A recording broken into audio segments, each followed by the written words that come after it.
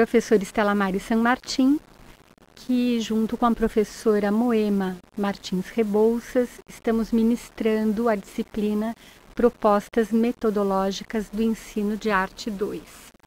É um prazer estar aqui com vocês e o tema que a gente vai trabalhar hoje é a arte como expressão.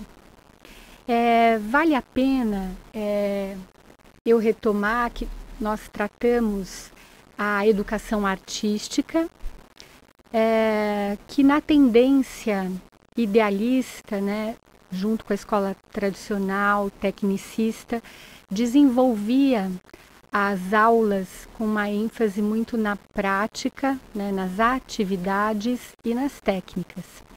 Então hoje nós vamos ver uma mudança é, que nasce junto com princípios filosóficos, né, propostos por John Dewey, Herbert Reed, né, e a gente vai ver como é que esses princípios filosóficos eles foram apropriados, né, e fizeram mudar a, o ensino de arte.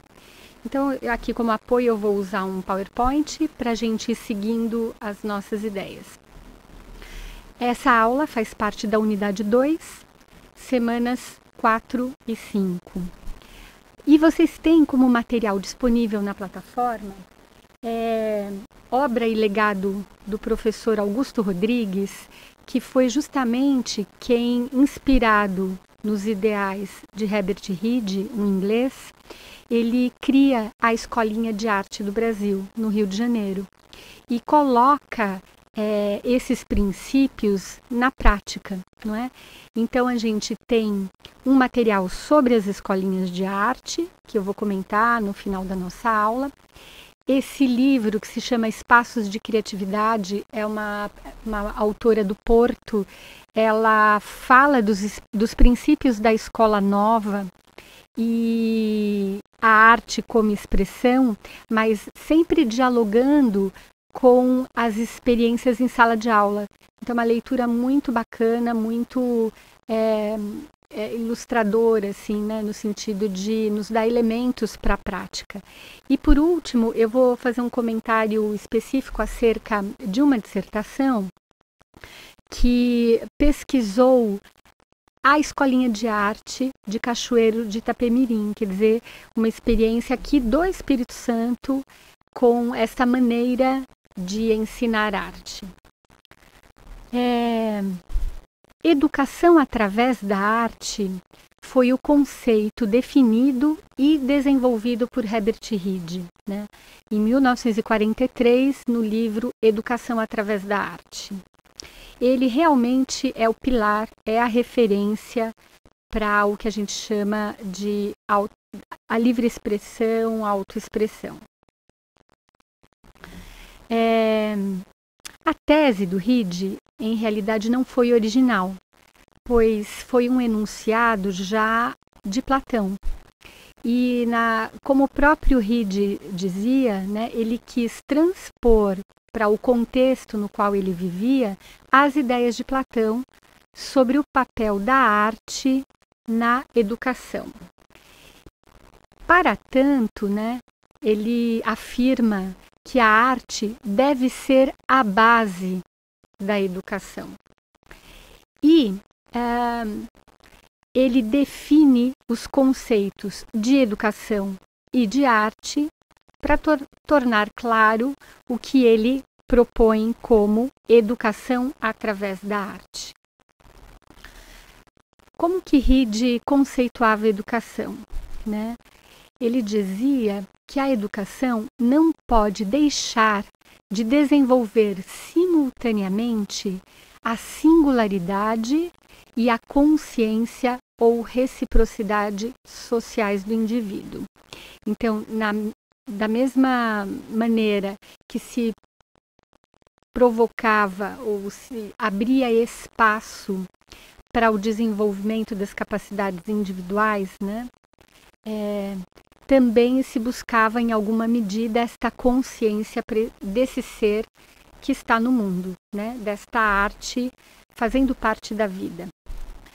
O indivíduo será inevitavelmente único E esta singularidade, por ser algo que nenhum outro indivíduo possui, será um valor para a comunidade.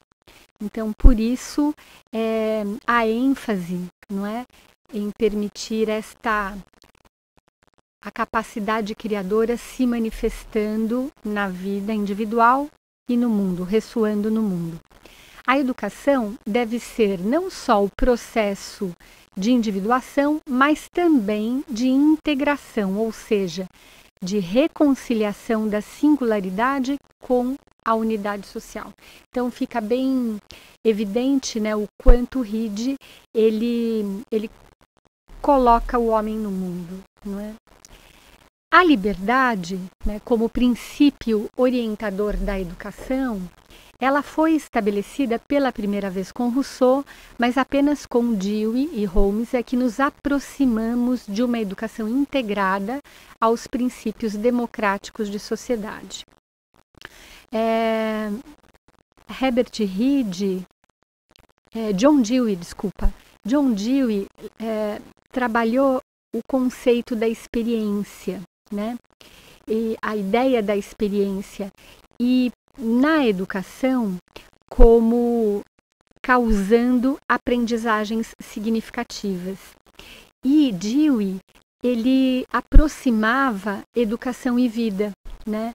Então, da, na mesma medida que Dewey é, assume esses princípios de liberdade, esses princípios de experiência de liberdade, o Herbert Reed ele traz a questão da educação estética. Então ele traz a arte como um elemento fundante ou importante de fazer parte das nossas vidas, né?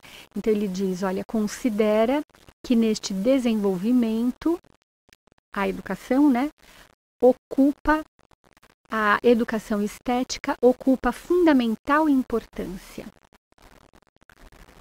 É, a arte, para Herbert Reed, abrange dois princípios fundamentais, quais sejam forma e criatividade. Forma é, trata da percepção, aquilo que a gente apreende do mundo que a gente internaliza e que a gente devolve para o mundo é, a, por meio dos pontos, das linhas, da, enfim, da composição, né? É, também não só bidimensional, mas tridimensional, né? O volume. E a criatividade, ele diz que é uma função da imaginação, que leva à criação de símbolos, de fantasias, mitos, é, cuja a existência é universalmente reconhecida pela forma. Portanto, seria essa capacidade mental de criar, né, que a imaginação criadora antevê ou lança para o futuro, quer dizer, imagina aquilo que não existe, é, passa a existir na medida em que assume uma forma no mundo, né? E se a gente está falando de artes visuais, a gente está pensando é, na imagem, né? É, bi ou nas formas tridimensionais. Forma e criatividade, portanto, para ele, né, nesse jogo dialético, englobam todos os aspectos psíquicos da experiência estética mas essa experiência também passa pelo corpo e pelo social, pela comunidade. Portanto, para o Herbert Reed, a educação através da arte surge como alternativa educativa. Bom, nesse, com esses pressupostos, né, é, nós temos vários autores que desenvolvem pesquisas e investigações, e um deles, o Victor Lowenfeld, junto com Brittin, eles é, escrevem o livro Desenvolvimento da Capacidade Criadora. Né? E nesse livro, eles tratam do desenvolvimento da criança, mas para pensar esse desenvolvimento cognitivo, afetivo, social, eles o, o fazem por meio dos desenhos. Então foi o primeiro material que, em alguma medida, organiza é, olha para o desenho da criança e organiza esse grafismo por faixas etárias. Então, é, quem não conhece o livro do Victor Lowenfeld, é, é uma boa referência como um precursor, né, que começa a pensar o desenho da criança. Óbvio que ele tinha a intenção de conhecer o desenvolvimento, mas nos dá elementos para ver esse desenvolvimento gráfico, né? Na perspectiva dele, ainda é dentro dos princípios da escola nova, como natural, um desenvolvimento que era natural e que o educador não poderia interferir, não é? é para não é, interromper esse processo que a criança desenvolveria ao longo do seu desenvolvimento. É, sobre as atividades criadoras na escola, né, é, Lovenfeld propõe que as crianças tenham a possibilidade de se exprimir, né, é, pela pintura, desenho, modelagem, construção, com a ajuda do educador, mas que ele não impeça essa capacidade natural é, das crianças se exprimirem através dessas atividades. Então aí a gente fica muito clara a ideia da autoexpressão, né? É, e as ideias do Reed. Arno Stern é outro autor enfatiza que a melhor condição para a educação criadora é a expressão individual na comunidade de meios, quer dizer, tendo disponível todas as linguagens, as formas expressivas. A criança, portanto, fica livre na escolha do assunto, do formato, das formas, das cores, assim como o ritmo da sua execução. Então, veja, a livre expressão, ela se configura, não é? é como um modo de propor o trabalho de arte com crianças, apoiado, embasado nas ideias do RID, né? E é nesse contexto que as escolinhas de arte é, são criadas, né? E a gente vai falar um pouquinho é, a partir dessa dissertação de Oliveira, que dedica um capítulo à história do ensino de arte e faz um levantamento bibliográfico sobre o movimento das escolinhas de arte no Brasil. É, de acordo com ela, com essa autora, Oliveira, é, alguns estados foram os que tiveram escolinhas de arte, dentre eles o Rio de Janeiro, Pernambuco, Rio Grande do Sul Espírito Santo e Santa Catarina. A Escolinha de Arte do Brasil, ela foi é, criada no Rio de Janeiro, em 1948, por Augusto Rodrigues. Então, Augusto Rodrigues foi um, é, um grande é, difusor das ideias do Herbert Reed, né? E com experiências uh, práticas, não é? Ele é, fundou a Escolinha de Arte do Brasil e realizou é, o trabalho de arte com crianças dentro desses princípios. É, a Escolinha de Arte do Recife, 1953, ela foi dirigida pela professora Noêmia Varela. E no material é, disponibilizado para vocês, há três depoimentos da professora, já com 90 anos de idade, e é muito é valioso esse depoimento porque ela vai contando quais foram ah, os interlocutores, interlocutores que ela teve ao longo da trajetória dela.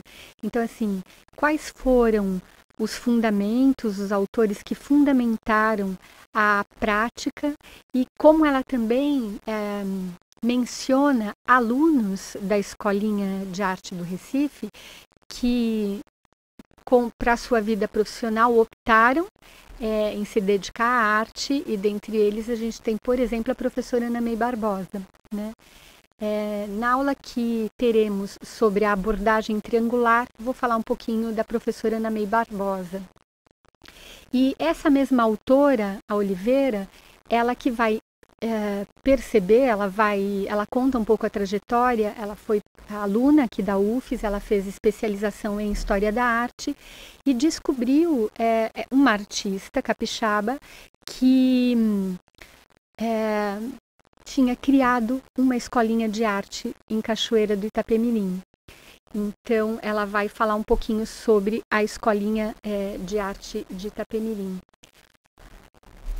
É, que teve a mesma inspiração teórico-metodológica do movimento das escolinhas de arte, criada por Isabel Braga em 1950. E qual era o objetivo da escolinha de arte? de Cachoeira do Itapemirim estimular a autoexpressão da criança através de atividades artísticas e recreativas, respeitando a espontaneidade da infância. Então veja que atende é, aos pressupostos do Herbert Reed, né, difundido por Augusto Rodrigues, também trabalhado pela professora Noema, Noema, Noêmia Varela. As escolinhas de arte, elas estavam em consonância com a pedagogia nova, lembrando que a proposta desta tendência consiste em dar condições à livre expressão, com o intuito de respeitar a produção do aluno e nela acreditar.